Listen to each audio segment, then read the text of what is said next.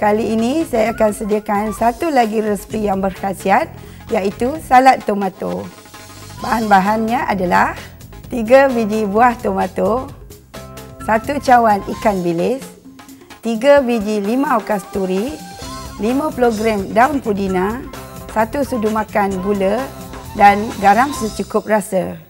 Bahan-bahan dihiris, 1 labu bawang besar, 3 biji cili merah, 5 biji cili api dan 2 biji bawang merah. Cara-cara membuatnya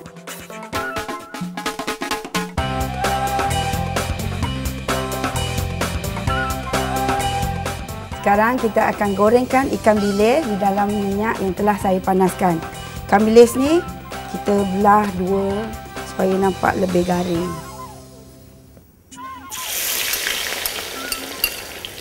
Kita goreng sehingga garing dan toskan. Ikan bilis ni tinggi khasiatnya, banyak kan? Apa? Uh, tinggi kalsium. Uh, jadi untuk kanak-kanak bagus sebab mereka memerlukan kalsium yang tinggi untuk pertumbuhan tulang dan gigi. Minyak dah senyap tu menandakan ikan bilis dah cukup garing. Kita angkat ikan bilis dan ketepikan. Teruskannya.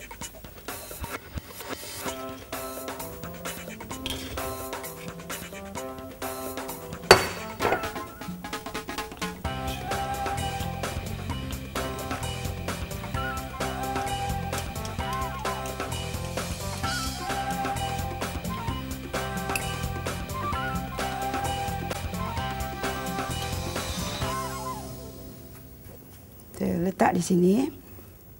Sekarang saya akan potong tomato.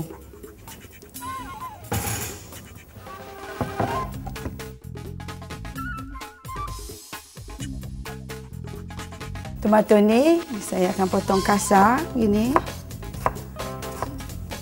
Tomato ni uh, tinggi antioksidan. Jadi dia akan melambatkan penuaan. Sebaiknya tomato ni disediakan mentah tak perlu mas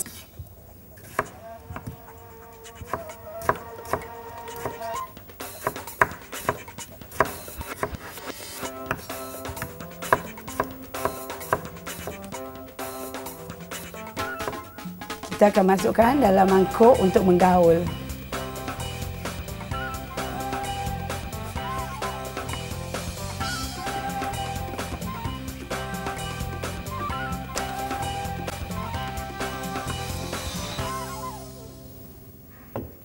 Masukkan cili merah dipotong uh, halus, cili api yang dicincang atau dipotong halus dan juga bawang merah juga dipotong halus.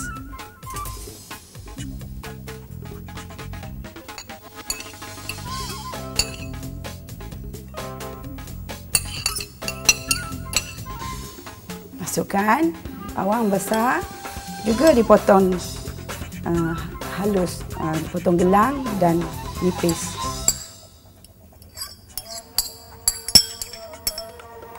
Koyakkan daun pudina. Daun pudina, kita ambil daunnya saja. Tujuannya adalah untuk mewangikan salad ni.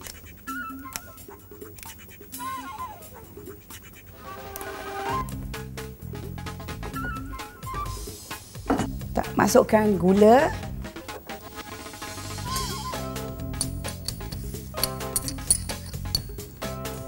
dan garam secukup rasa.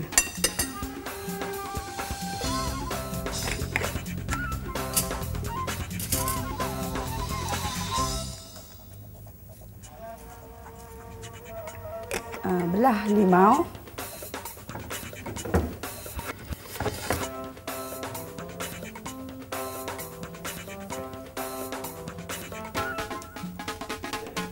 Hmm. Kita buangkan bijinya. Untuk mengelakkan kita tergigit biji dan boleh menjadi pahit.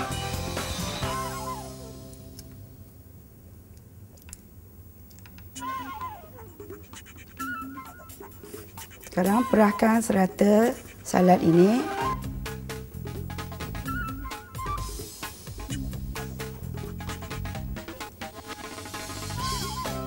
Boleh juga digantikan ah, lima nipis gaul supaya semua bahan bergaul rata.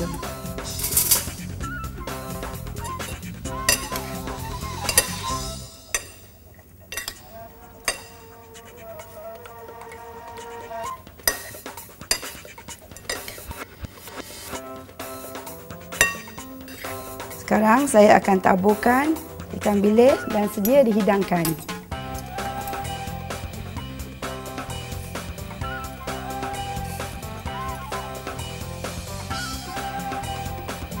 Saya akan hiaskan sedikit daun pudina di atas taburan ikan bilis tu. Inilah dia salad tomato yang sedang disediakan dan berkhasiat. Jadi saya harap perempuan boleh mencubanya sendiri.